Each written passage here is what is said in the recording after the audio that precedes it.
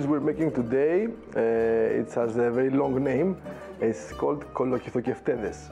Uh, it's zucchini balls, fritters, uh, with uh, feta cheese, with uh, olive oil, all kinds of different spices and greens. The second version of it is tomato and leek, same style. This is uh, food that is served as appetizer in a Greek tavern or in a Greek uh, family lunch or dinner.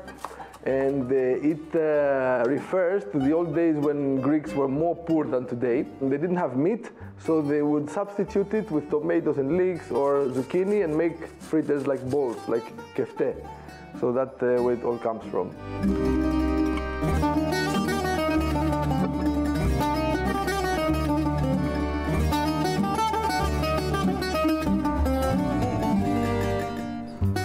Born in Athens, Greece, and I've been to Israel many, many times as a journalist in the past because this is my morning job. And that's how I met uh, my wife Natalie, and uh, then we moved. I moved to Eilat, and a few months ago uh, we moved to Yafo.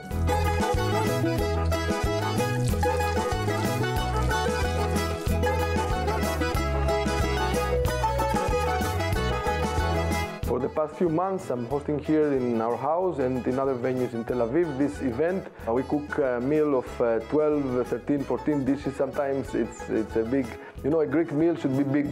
This is basic. If it's not big, it's not Greek.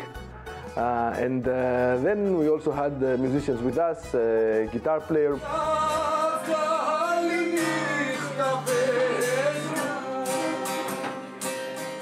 The Greek dream is to be a tavern owner and have your friends over eating every day.